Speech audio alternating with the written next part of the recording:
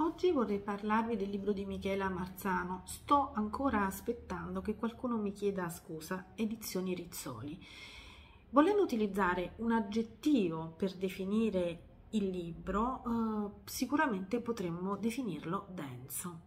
Denso per eh, il numero di interrogativi che pone, denso per eh, gli approfondimenti che prospetta e denso anche per eh, gli spunti di riflessione che inevitabilmente impone. La storia è quella di Anna. Anna è una giornalista, lavora in radio e insegna in un master di giornalismo eh, universitario attraverso i suoi studenti cerca di ripercorrere lo scandalo del Me Too Scandalo che ha portato alla ribalta tutti i favori sessuali imposti alle giovani attrici per poter eh, fare carriera nel mondo dello star system. Ma il punto focale che la Marzano intende approfondire è quello legato ai concetti di libertà e di consenso.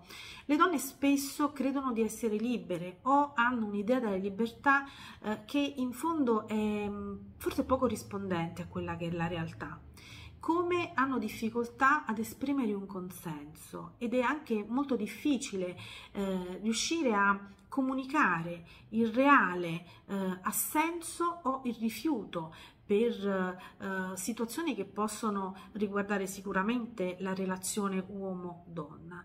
Mm, un libro che risulta interessante, a volte anche urticante perché è incalzante, eh, pone il lettore nella condizione di sentirsi tirato eh, in primo piano, è come se attraverso la storia la Marzano chiedesse di volta in volta di dare una risposta.